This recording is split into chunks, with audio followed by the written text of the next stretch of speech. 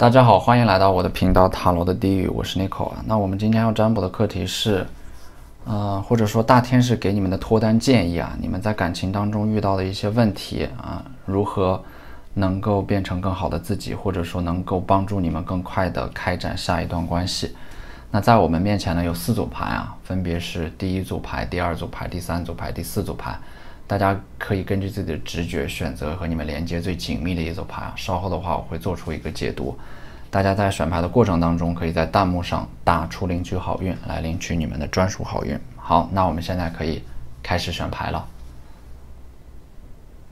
大家好，欢迎来到第一组牌啊。首先呢，第一组牌关于你们的脱单建议呢，第一张牌是命运之轮啊，说明你们现在所经历的一切。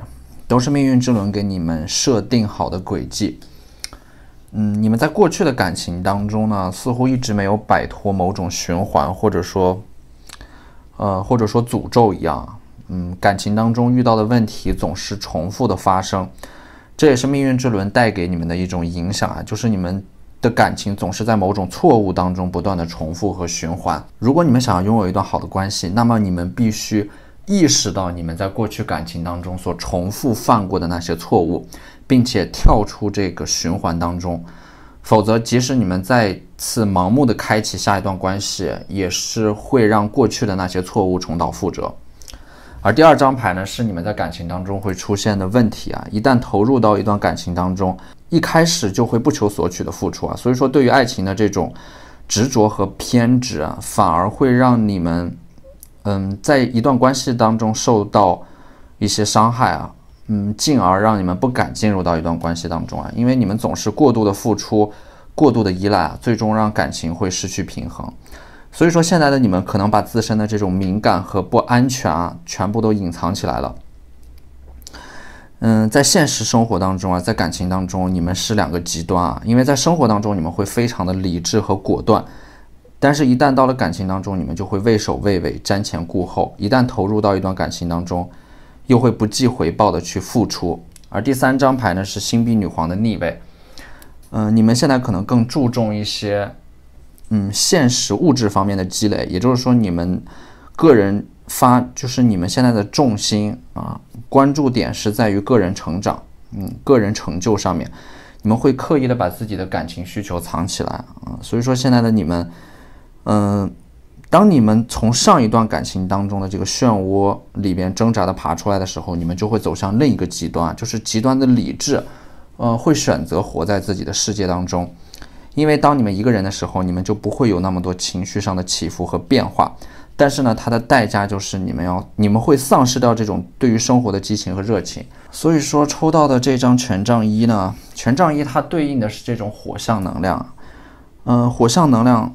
嗯，它就代表的是你们对于爱情，其实内心深处还是很有着很热烈的期待的，因为权杖一代表的是一种生命能量啊，包括这张星币女皇的逆位，你们手里边的这颗星币就是你们对待爱情的一种理想主义，嗯，只不过现在被你们刻意的隐藏起来了，所以说你们其实要做的是说服自己啊，说服自己再一次能够相信爱情。能够相信一段好的关系一定能够让你们变成更好的自我，嗯，首先你们要相信他，你们才能够走入到他，走入到一段关系当中啊。所以说这张牌面上给出的建议呢，嗯，你们首先要意识到过去在感情当中犯过的错误，不要让他们重蹈覆辙。其次就是你们要重新相信爱情本身能够给你们带来一些正向的、积极的转变。嗯，并且呢，一段好的感情，它一定是双向奔赴的，单方面的付出或者说单方面的索取，都会让一段好的关系失去平衡。所以说，这个权杖侍卫呢，它也是你们未来会出现的一个火象特质的这种桃花。嗯，对方会有一种非常强烈的，呃，这种生命能量吧，嗯，能够带你们，能够给你们带来一些新的活力。而且呢，会帮助你们走出过去那段感情给你们留下的某种阴影啊，嗯，而且呢，嗯，对方他们自身所携带的这种生命能量和活力，也能够激发你们内心对于生命当中那种，呃，对于一段亲密关系最真诚的期待和渴望。所以说这张牌也是在告诉你们，这是你们未来的这种呃择偶的标准和方向，一定要找一个非常积极乐观的人，嗯，这样你们才能够从这种从自身的这种消极的情绪化的泥潭当中走出来。这也是必须你们在再一次的直面自己内心之后，嗯，才会出现的桃花。因为现在你们可能会，呃，对待亲密关系这件事情上会有一些本能的逃避，嗯，所以说本质上来说呢，你们之所以单身，并不是因为单身选择了你们，而是因为你们主动选择了单身。其实你们想要脱单的话，你们的身身边立刻会有很多的桃花出现。所以说这组牌面上的你们，其实。并不是不能脱单，而是不想脱单。只不过有的时候你们无法跨越自己内心当中的那道阻碍啊，所以说你们对于感情的高要求和高标准，会让你们越来越难以心动。那接下来的这四张天使神谕卡呢，是大天使给你们的一些感情上的指引啊。第一张牌就是 Wait，等待。嗯，命运之轮的转动，它不会让你们停留在原地的啊！耐心等待的人，一切都会及时到来啊！随着命运之轮的转动，我们在牌面当中看到的火象特质的桃花，它会再次出现在你们的生活当中。第二张牌呢是 Be assertive，呃，这张牌呢是你们总是在自我怀疑和自我否定啊，总是会被一些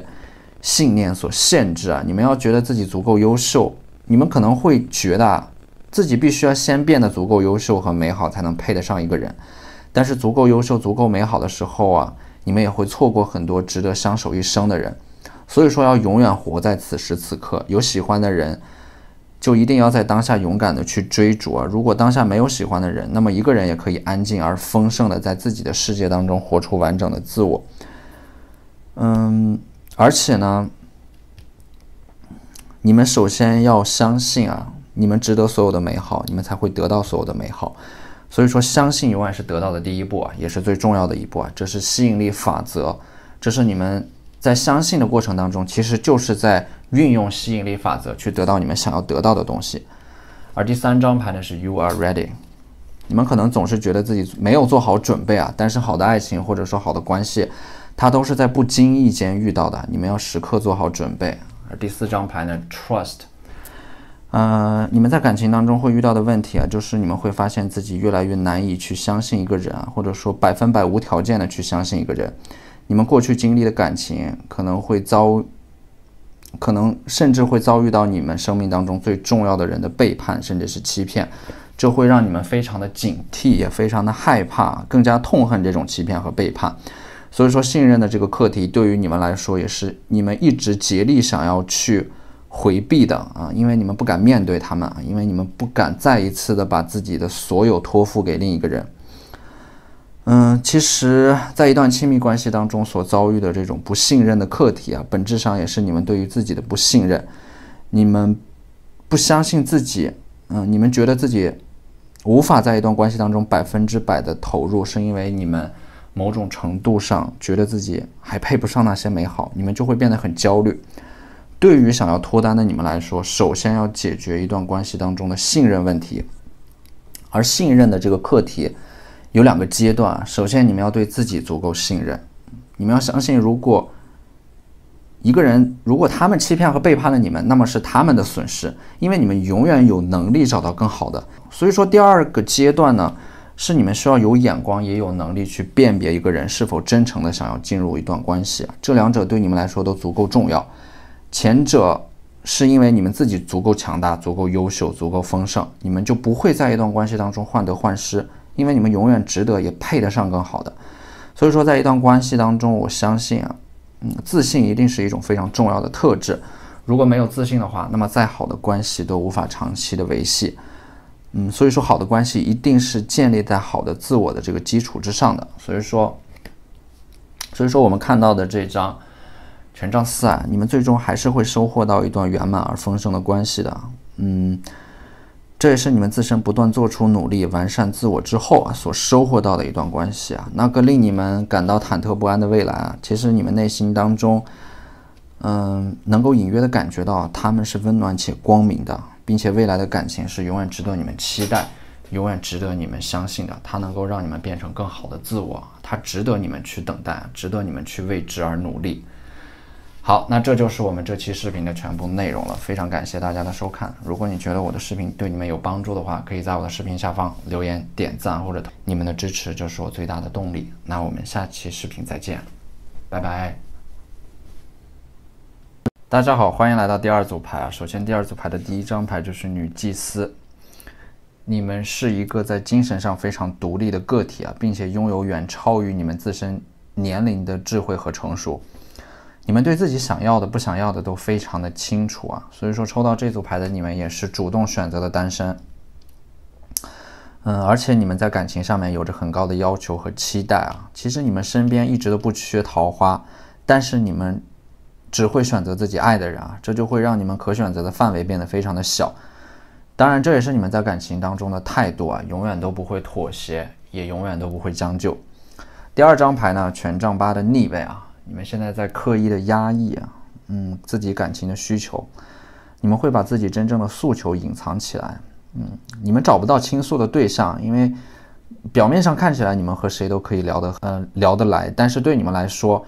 你们在交流和对话的过程当中啊，往往会向下兼容，所以说你们自身的这种，呃，远超于同龄人的智慧和成熟啊，也注定了你们会很难。找到一个在精神上能够和你们共鸣和匹配的灵魂伴侣，而这张星币国王呢？从这张牌可以看到啊，呃，这个国王手里捧着的这个星币，就是你们在感情当中，呃，是一个非常现实的存在啊。你们在感情当中一旦看不到未来，就会及时的抽身，当然也会因为你们自身这种极度的理智啊，嗯。所以说不会让你们在一段感情当中投入或者说付出过多，你们攒够了失望就会果断的离开，及时止损。你们在所经历的这些感情当中啊，可能说，呃，会经历一些持续时间很短、持续时间很短的感情啊，因为一旦你们在意的人无法给予你们预期当中的回应，你们就迅速就会迅速的失望，并且转身离开。所以说，你们在一段关系当中是不容易产生安全感的，你们所有的安全感都是自己给自己的。而第四张牌呢，权杖三啊，你们在当下所遇到的问题，就是你们现在正在把自己封闭起来，活在自己的世界里。那当然，活在自己的世界里有可以很舒适，但是你们要记住啊，我们的本质就是社会关系的总和。所以说，当下的你们要走入到人群当中去啊，要广结善缘，建立连接，对你们来说是十分有必要的。并且你们在认识新朋友的过程当中啊，能够渐渐的走出那个封闭的自我。所以说，圣杯二代表的是你们在认识新朋友的过程当中，呃，就会出现关于你们人生当中的下一个桃花。嗯，并且呢，这也是你们重新打开自己内心的一个转折和标志。而我们抽到的这张愚人牌啊，愚人牌它其实代表的是一种很乐观、很开放的状态。敞开心胸接受转变啊，同时也不去拒绝任何试图靠近你们的人。所以说这两张牌它意味的是你们必须要完成一种转变啊，就是从女祭司变成愚人。嗯，因为女祭司，她们自身总是有着一种防御性的悲观啊，在一段关系当中会看到自己受伤的画面。而愚人呢，代表的是一种乐观、积极向上的特质。当然，这种特质也可能会为你们招致到一些烂桃花。所以，我认为最好的特质是你们把这两种特质结合起来，既对一段关系有着热忱的期待啊，但是也要拥有智慧去挑选正确的人和你们相守一生。嗯，那我们抽到的这四张天使神谕卡呢？第一张牌是 Yes，还有。第二张牌是 If you believe 啊，这两张牌可以看到，呃，对你们来说都是一种非常强烈的肯定啊，对于你们自身价值的肯定啊，并且呢，在接下来你们的感情运势是会发生一些实质性的转变的，它是会有一些信号出现的。嗯，而第三张牌和第四张牌呢，In the near future 啊，代表的就是在不远的将来，一个看得见的未来，你们必然会进入到一段新的感情之中。嗯。而且呢，这张牌是 look for a sign 啊，嗯，去注意观察你们人生当中一些出现变化的机会啊，这个机会当中往往会隐藏着一些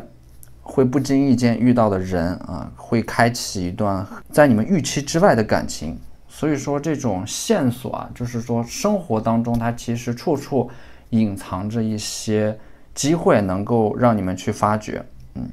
而且呢，对于这组牌来说呢，其实因为你们本身，呃，自身的这种成熟和理智啊，是不容易让你们走入到一段感情当中去的。所以说，你们要深入到生活当中去啊，去爱具体的人，而不要活在幻想的精神世界当中。因为幻想当中的你们的这种灵魂伴侣一定是完美的，但是在现实生活当中，你们所接触到的人，他都是有缺点的。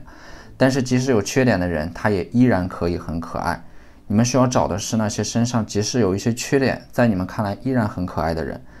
当你们看清楚了自己内心的渴望之后，你们才能够如愿拥有，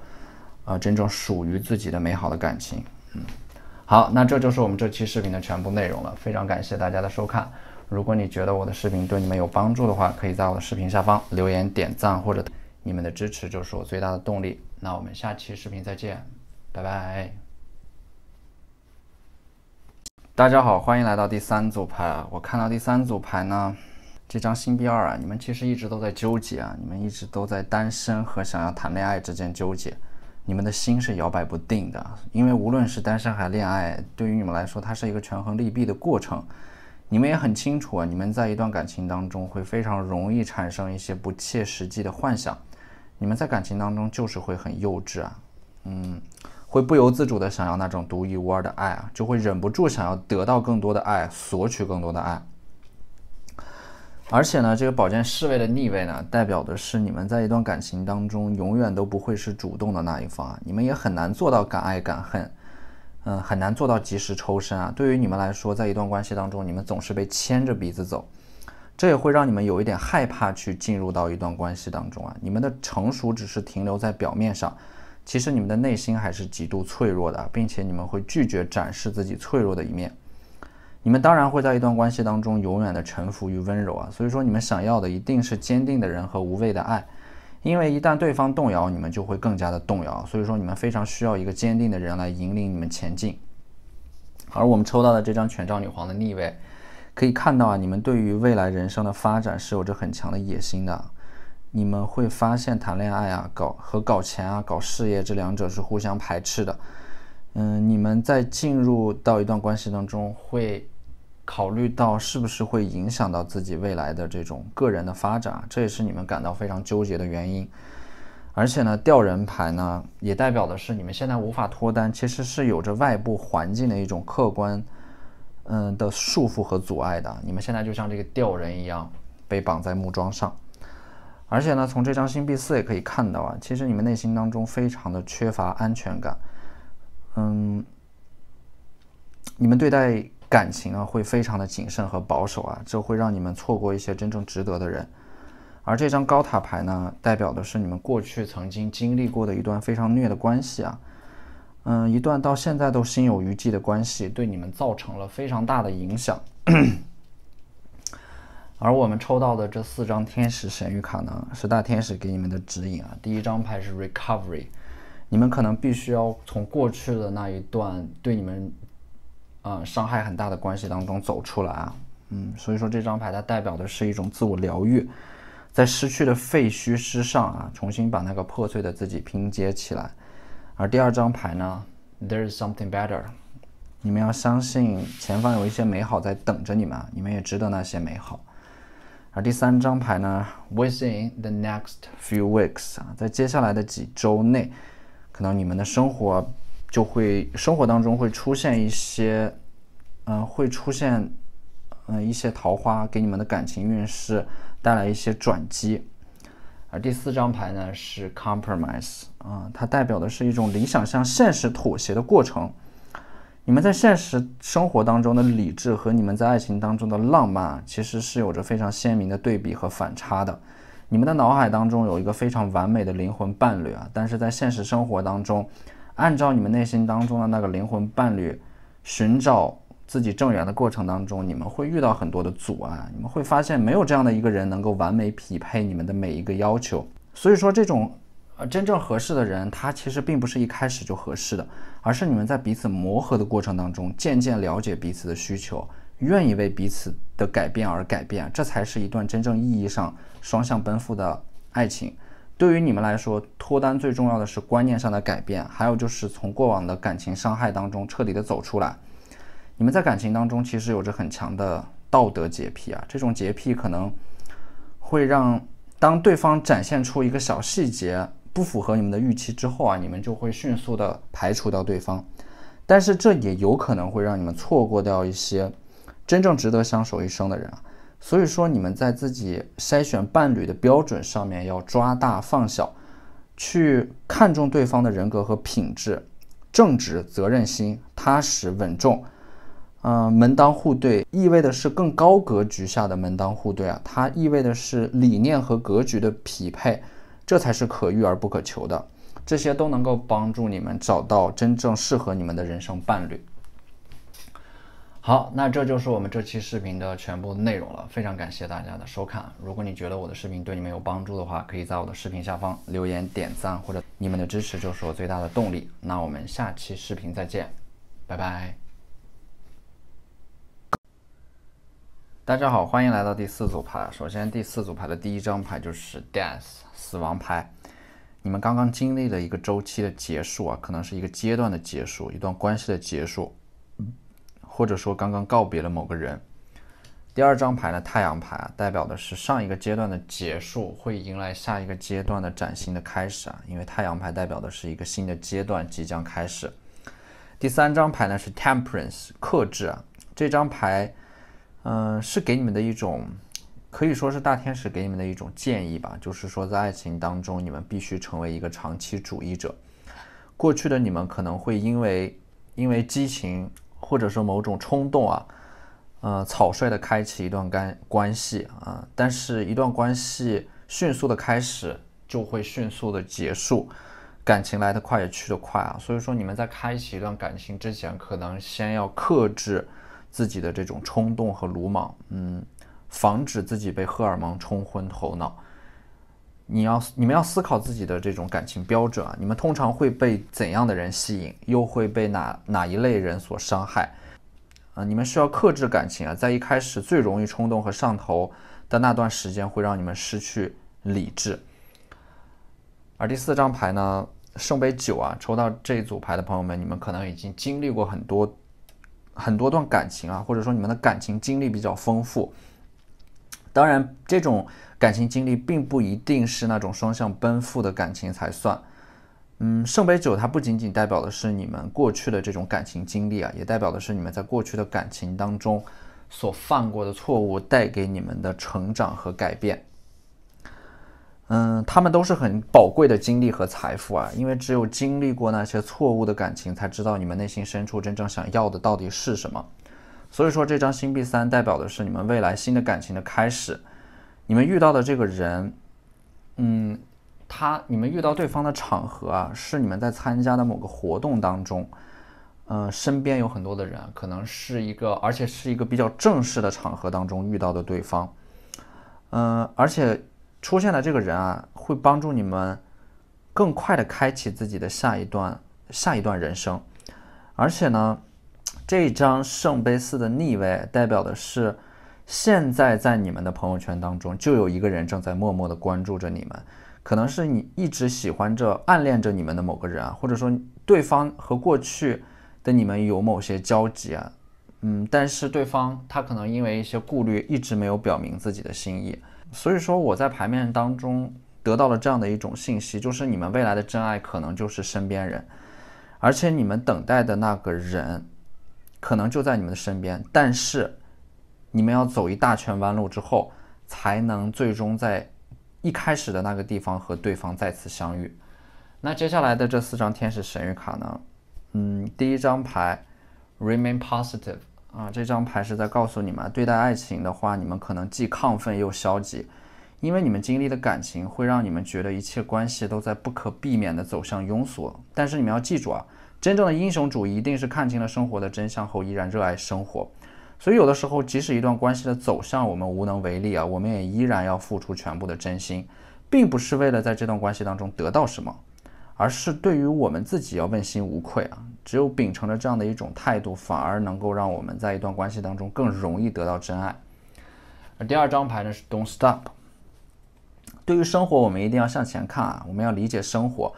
我们只能通过回顾啊。但是要面对生活的话，我们一定要向前看，向前走去，不要停下自己的脚步，也不要活在过去啊。第三张牌啊，No need to worry 啊，你们可能对待自己的感情会有一些焦虑啊，会很害怕自己会没有人爱，嗯，会觉得自己不配得到那些爱啊。实际上这种焦虑是没有必要的，因为你们只要做好自己。对的人会沿着你们发出的光找到你们啊！当我们的心态是向外索取的时候，我们的内心就是匮乏的。但是如果我们自己一个人的时候，能够安静而丰盛的去做好当下的每一件事情，过好当下的每一刻，活出最大的生命能量，那么对的人他是一定会出现的。而第四张牌呢，Let Go 啊，这张牌是对你们说的：如果你们心里边还住着一个不可能的人，你们现在就要。Let go 啊，释放掉那种执念啊，是真正意义上的放下，因为你们很清楚啊，其实放下才能够，放下是为了更好的得到啊，所以说告别错的人才能够迎接到对的人。那这就是我们这期视频的全部内容了，非常感谢大家的收看。如果你觉得我的视频对你们有帮助的话，可以在我的视频下方留言点赞，或者你们的支持就是我最大的动力。那我们下期视频再见，拜拜。